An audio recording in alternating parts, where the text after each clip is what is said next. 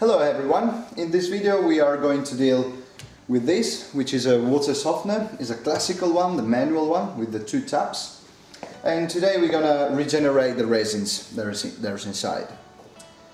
So, work taps position. The first tap is from the Aquadot and the second tap is from the water softener to the coffee machine. To regenerate the resins, all we need is a bucket, is something, or a simple drain into the sink. In this case, we have a small pipe like this. Step number one, locate the small pipe in a bucket, hold it tightly, and then release the pressure, moving the first tap in this direction. Careful, because the pressure is very high the first seconds, and then it will lose down. Move also the second tap into the drain, and there you go. The water softener is now depressurized.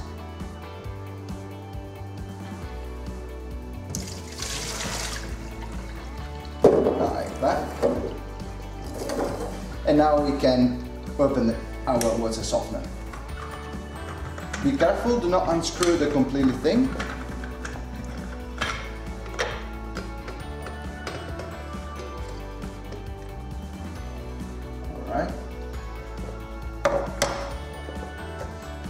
Put the salt in. In this case, which is an 8 liter water softener, will be enough 1 kilo. If you have the bigger one, which is 12 liters, you need 2 kilos of salt or table salt. Okay, the salt is in, so now it's time for us to clean, pretty much delete some residues of salt or resins here. Careful also to clean the top. It's time for us to close it. Put it like this. Close it tightly, like that.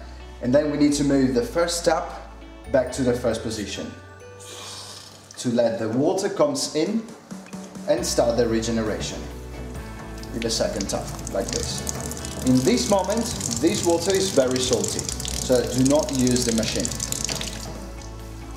Alright, our water softener is now pressurized and the resin regeneration is now going on. As you can see from the, the second tap, on the second pipe, this water now is very salty.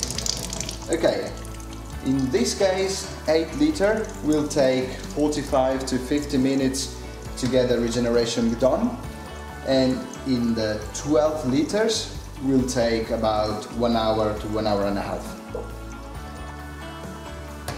Here we go again, 45 minutes now in this case has passed.